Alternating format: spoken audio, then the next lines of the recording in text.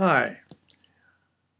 Let me mention a, an incident that took place to introduce us to our topic for today the great controversy and social reform. Dr. Leonard Bailey, who um, for many years has been the head of the surgery department at Loma Linda University, had already, as a young physician, surgeon, transplanted a baboon heart into a human for the first time in human history. He then developed a very uh, major program, an infant heart transplantation. There was a meeting of the American Academy of Religion and Society of Biblical Literature, which happens every year. About 10,000 people gather, and it took place in Orange County. And Dr. Bailey was invited to be on a panel. My brother, who at that time was the head of surgery before Dr. Leonard Bailey, uh, went with me to this conference. We sat together. It was a large plenary session with hundreds of people in attendance. And Kenneth Vaux, who was well known as a bioethicist and a theologian, he had come up with the idea of a multi volume series on health, medicine, and the various religious traditions. He was speaking, and he said, Dr. Bailey, you could not come to terms with the inevitability of death. You went to extraordinary lengths to keep profoundly sick infants from dying. But he said, I think that death is a part of the natural order, and let me illustrate that and how deeply I believe that. I had an infant son who developed a very profoundly disabling condition my wife and I, after praying, uh, very went hesitantly but very calmly to the physician of our son and asked him to cease efforts to keep my son alive, and my son died. He then turned to Dr. Bailey and he says, I believe you, Dr. Bailey, would never have made my decision and would have fought against death. I could feel my brother, the surgeon, stirring and very tense. And certainly, Dr. Bailey did respond by saying, Ken, I would hope that you would have left, have let me fight to save your son.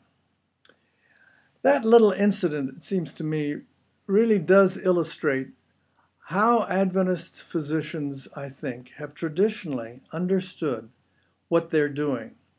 That is to say, that Seventh day Adventists, steeped in the biblical imagery of healing as a part of the combat, the conflict, the controversy between good and evil, between disease and healing, uh, is, is all a part of God's way of responding to rebellious powers in the great controversy.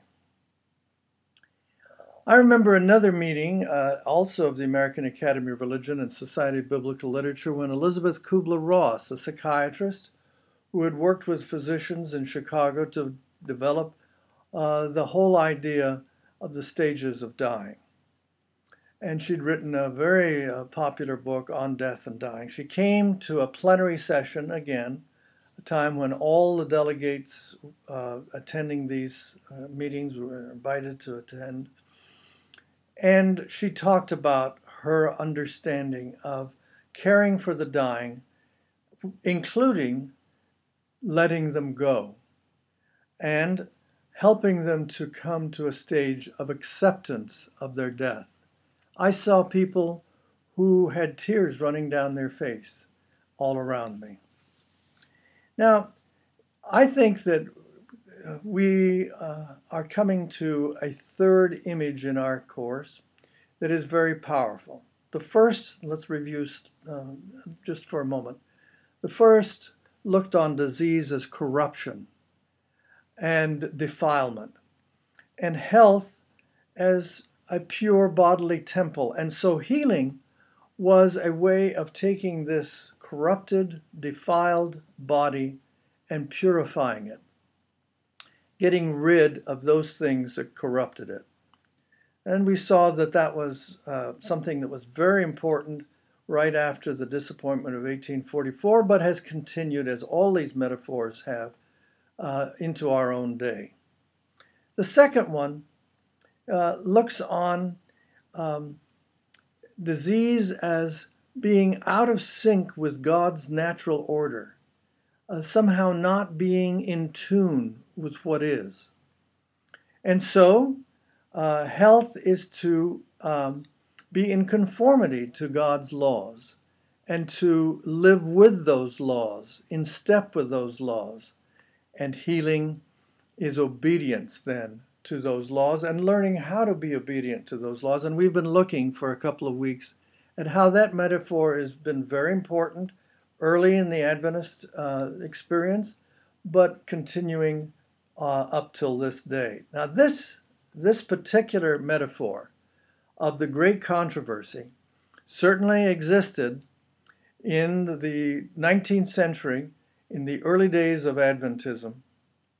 And disease here is oppression by unjust powers over human beings, twisting and turning and corrupting their lives. But it is the lives of whole communities that are being corrupted. Indeed, it's the whole universe that is being corrupted. And each individual who is unhealthy is a person who has been uh, found by the powers of evil. And what is healing? Healing is the struggle against those oppressive uh, evil powers. Now, we appreciate all of these metaphors, but we're going to spend a few weeks talking about this last understanding of what is disease, what is health, and what is healing. Now, let's take as an illustration smoking. Uh, that's certainly, uh, in terms of behavior, a very important part of the Seventh day Adventist experience. And we've seen that smoking was seen as something that defiled the bodily temple, right?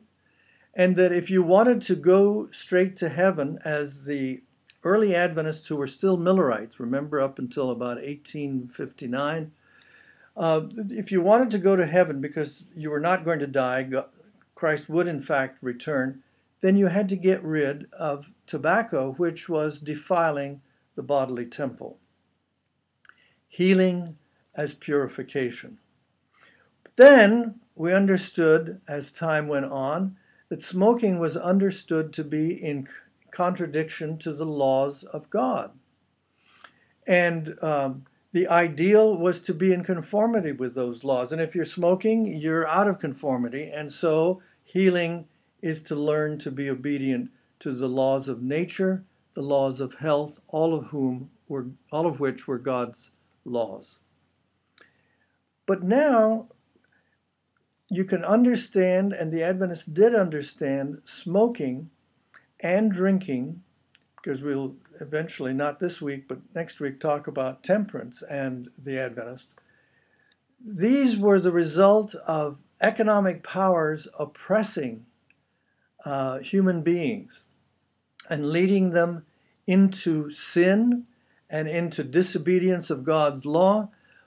But what was healing? Healing was combating these institutions and oppressive powers in society, economic, political, that were corrupting the whole nation.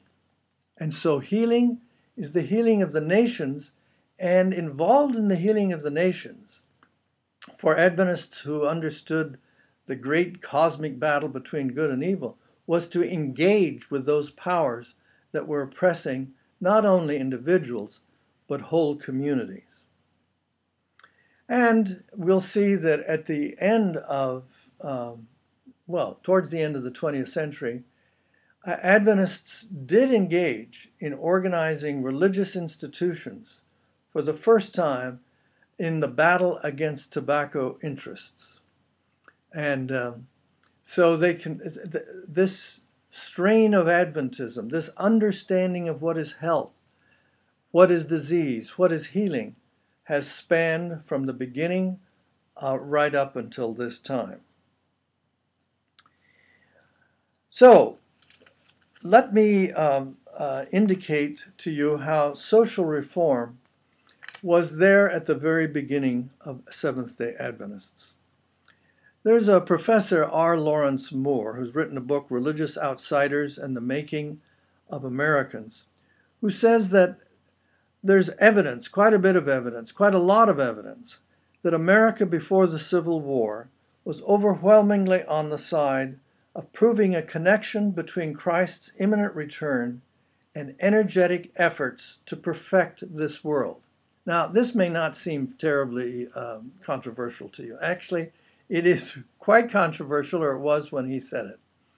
Because people have assumed that throughout the history of Christianity, those people who took seriously the return of Christ, and certainly the Seventh day Adventists, the early Seventh day Adventists, did that, and the Adventists continue to make that central to their faith. There were Christians who, was, who felt that in the face of this great cosmic battle between God and evil powers, what will they do? They will hunker down and let God fight the devil. Right? And there were people who did that throughout the history of Christianity. But there were other people who went the opposite way. And so you have Anabaptists who fought against those powers that they thought were not allowing them the freedom to worship God as they felt that they should. There were groups in the 17th century in um, Britain, what is now the United Kingdom, what was England, uh, who were Calvinists, and they really believed that the Lord was coming and uh, that they should uh, resist those forces that were uh, unjust and that were oppressive. And so, the most uh, convinced that the Lord was coming soon were among those who were the most radical in resisting uh, what they saw as oppressive forces uh, in Britain in the 17th century.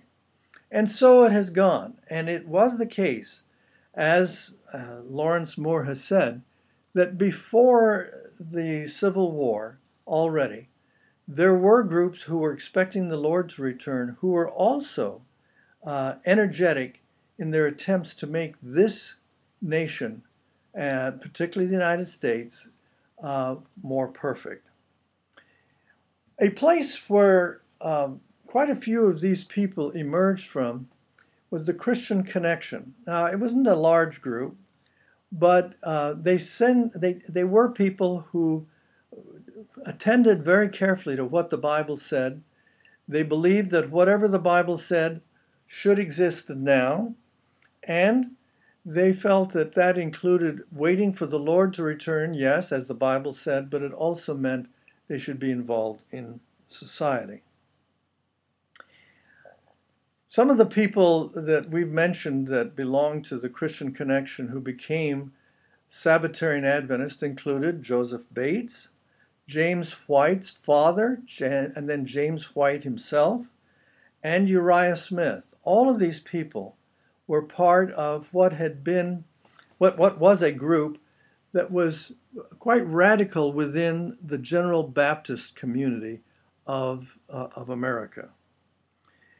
They tended to be rebels against all kinds of elites. The elites who said that they knew what the Bible said, they, on the other hand, were ordinary people, and they felt that they knew what the Bible would say, would say and did say. They were, among other things, rebels against elite traditional medicine. One example was Elias Smith, a founder of the Christian Connection, who founded uh, a magazine that he said was the first religious magazine in America. And notice the title Herald of Gospel Liberty. Herald, Adventist Review, and Herald. Um, Another one was Joshua V. Himes. He was a pastor of the Christian Connection and uh, was head of the Clarendon Street Chapel in Boston. Now, this became a very active congregation that brought together people who believed in Scripture and what it said with those who were for social reform.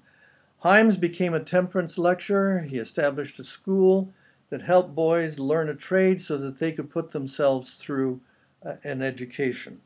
He participated in the movements, in, in different social movements, including those for women's rights, for world peace, and against slavery. He was a supporter of William Lloyd Garrison. Now, William Lloyd Garrison is the name we're going to be talking about quite a bit. He was the most famous anti slavery abolitionist leader in the United States. He was particularly active in Boston, and um, he uh, ended up being a friend of Abraham Lincoln. Now, um, Himes found that he not only supported Garrison, but he would participate in the Massachusetts Anti Slavery Society. He became president of the Young Men's Anti Slavery Society. Now, this Joshua V. Himes, who was active on all of these social reform movements, including uh, being an ally of William Lloyd Garrison, met William Miller in 1839. Uh, indeed, he invited William Miller in uh, December uh, of 1839 to come to his Clarendon Street Chapel and to lecture. And he was very taken with William Miller, so that by the early part of 1840, in the spring, he, Joshua V. Himes, had already brought out the first uh, issue of the Signs of the Times. These, these people who were part of the Christian connection uh, were obviously, um, how do I say this, on the cusp of, the, of, the, of a revolution of distribution of religious literature. It was as though they were the ones who used the internet first for uh, communicating religious ideas and social reform ideas. In October of 1840, Himes brought together a conference of Millerites. And from 1840 to 1844, for four years, Joshua V. Himes, a son of the Christian Connection, a member of the Christian Connection, a person who was one of the most prominent members of the Christian Connection, and of religious uh, people. In 1850, the United States uh, Congress, the federal government, adopted a law that tried to appease the North and the South by saying, well, um, we will have a Fugitive Slave Act, which means that if some slave in the South escapes from the master, uh, that person's master, and gets into a state where there is no slavery, when that person is found, then that person has to be returned from a northern free state back to the master in the south where there is slavery and returned to the master. Well, up until then, it was easier for the North to lead its own life and to treat black people as they wished. And, you know, there were people who had free blacks around them. Uh, there were slaves in different places, but this law said that the entire North was legally required to return freed slaves or escaping slaves back to their master. And so it said, those of you in the North that are opposed to slavery, even those who are opposed to slavery, not everybody opposed slavery, but those who are opposed to slavery, you are legally bound to become a collaborator in the institution of slavery.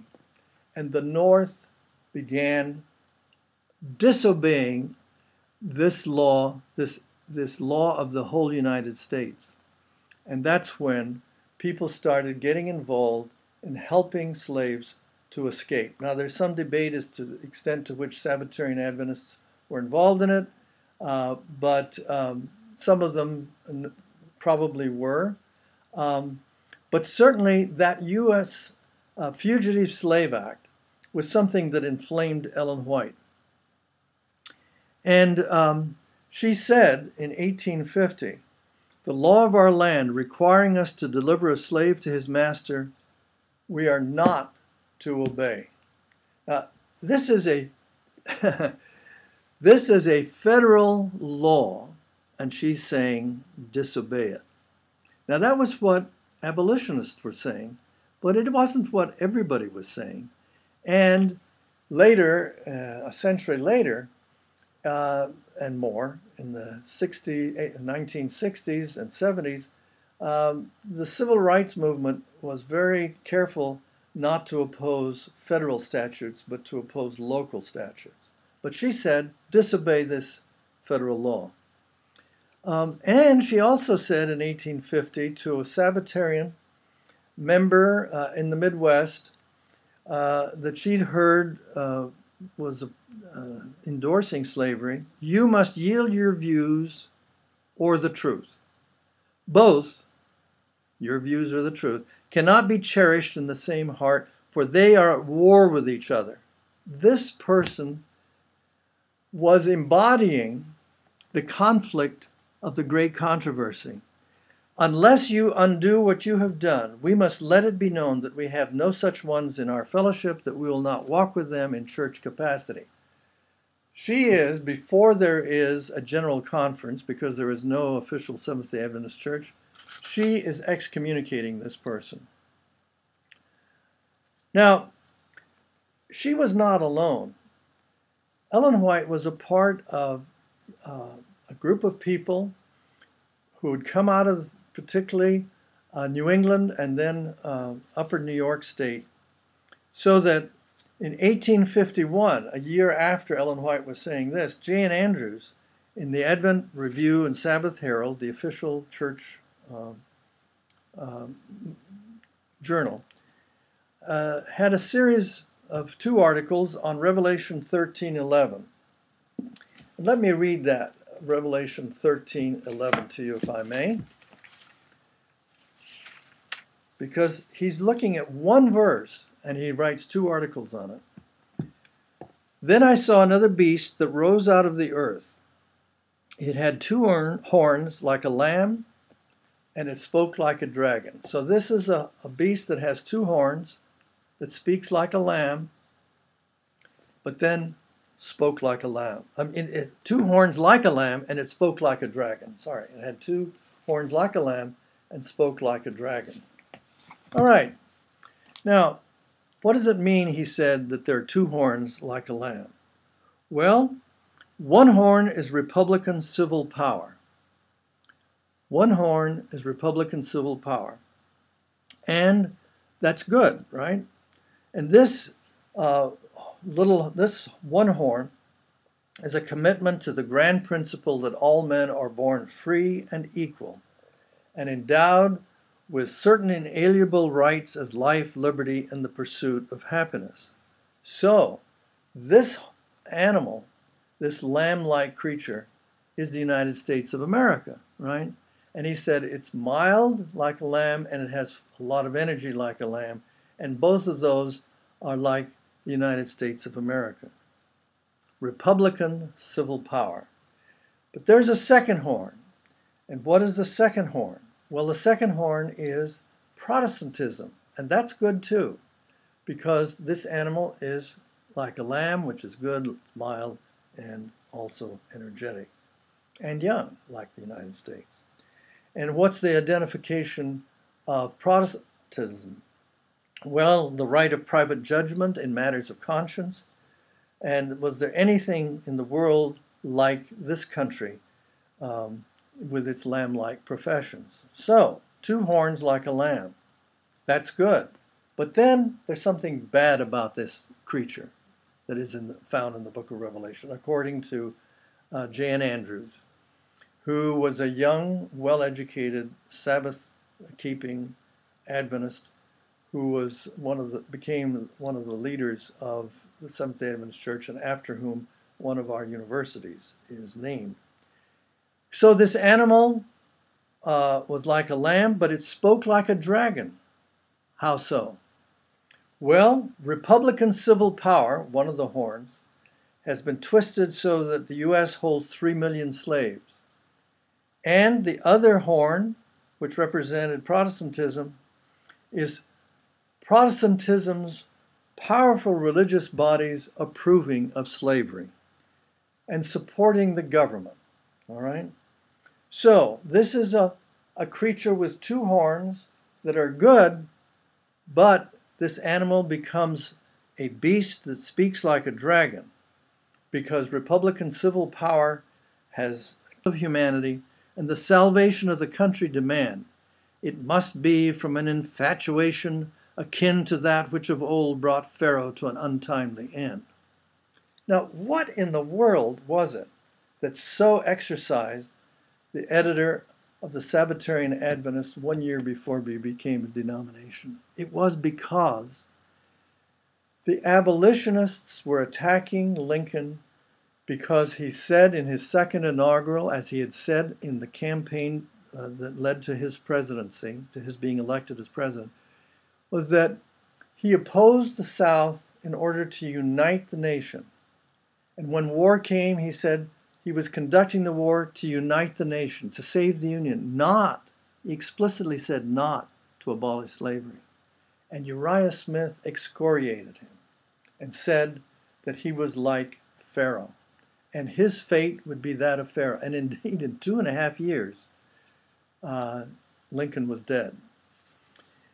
Now, in addition to Uriah Smith, in 1864, J.N. Andrews wrote an article on slavery. And one of the interesting things was that J.N. Andrews uh, responded to those Sabbatarian Adventists, and by now they were Seventh day Adventists officially.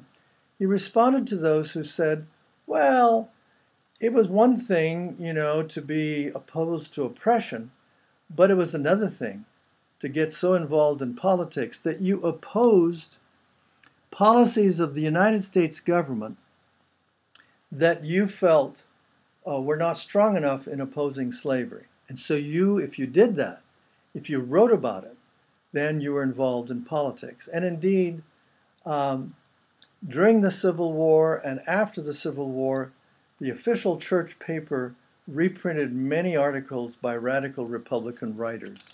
That is to say, the most radical of the Republicans, uh, who were the northern was the northern party that opposed um, slavery, and they those who defended slavery tended to be Democrats at that time. So J.N. Andrews writes a very clever article, a very move, I mean, it's a very biting, sarcastic article about these people within his community, his religious community, who are opposed to this activism against slavery. He says this, this sin is, a, is snugly stowed away in a certain package which is named politics. Now, obviously, he doesn't think that, that what he's doing is a sin, but he says that's what people say. Snugly stowed away in a certain package which is labeled politics. These people deny the right of their fellow men to condemn any of the favorite sins which they have placed in this bundle. And they evidently expect that any parcel bearing this label will pass the final custom house, that is, the judgment of the great day without being examined. Should the all seeing judge, however, inquire into their connection with this great iniquity, they suppose the following answer will be entirely satisfactory to him. I am not censurable for anything said or done by me in behalf of slavery. For, O Lord, thou knowest, it was a part of my politics. So notice what is being done here. One of the leaders of the Sabbatarian Adventists who have now become Seventh day Adventists is saying, Of course, we're going to condemn this, and we don't care if people say that that's politics. So, that's the attitude of the Adventists, Seventh day Adventists now. Uh, in the 1870s, on into the 90s, Ellen White wanted the churches to participate in expanding what the government was doing in helping the freedmen to, hung, to feed the hungry, clothe the naked, establish sanitariums, construct schools, and organize industries to employ the freedmen. In 1894, Edson White, the oldest son of James and Ellen White, who had been reading these admonitions of his mother, decided to do something. He, after all, was the son of James White, quite an entrepreneur who had started these various publications for the Sabbatarian Adventists and convinced that community to create the Seventh day Adventist denomination officially. So this son created a steamer, a small steamer that he called the Morning Star, and sailed it down the Mississippi River. Took it to St. Louis, Missouri, Cairo, Illinois, Memphis, Tennessee, and on down into the Mississippi, uh, flowing by the state of Mississippi to Vicksburg, where there had been a huge battle in the Civil War where Grant defeated the South. It was a very bloody battle, but he sailed down there and then on to Yazoo City in Mississippi, which is the heart of the Mississippi Delta, which is where there were so many uh, black slaves that were uh, employed who were using being used to grow cotton for the whole nation. And what did he do with this um, this little steamer, the Morning Star? Well, on board, he held worship services and he invited people of different races to come on board and participate in these worship services. He conducted classes, prophetic interpretation classes. He had classes on reading and writing. He also cl- had classes on diversification of um, crops so that the black people could learn to break the hold of King Cotton and if they had a little bit of property, they could learn how to raise chickens, grow peanuts, strawberries, tomatoes, cabbages, and care for bees, for pity's sakes. And he also taught them temperance and how to lead healthier lives. He also wrote a book called The Coming King that sold 75,000 copies that helped to uh, the finance of this project. And also printed something called the Gospel Herald. He was a white, he edited a journal, he started it, and that was a moneymaker also for this project. By 1909, he'd come down there in 1894. By 1909, there were two medical institutions that had been established one in Nashville, Tennessee, and another in Atlanta, Georgia.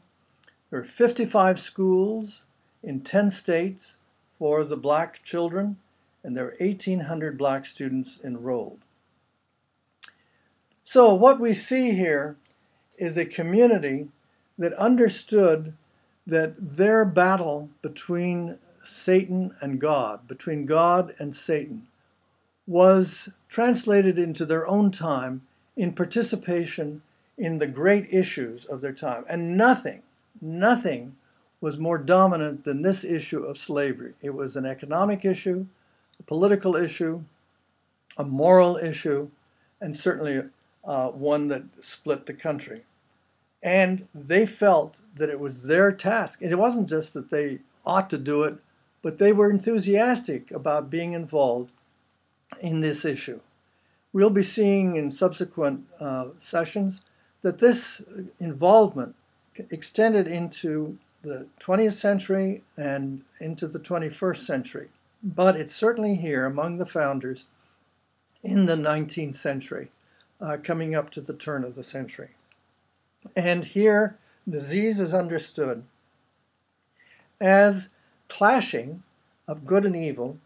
And what is health? Health is the restoration of that conflict and that controversy into some sort of uh, civil harmony uh, an ideal society, at least an approximation of it, what the Quakers called um, the peaceable kingdom.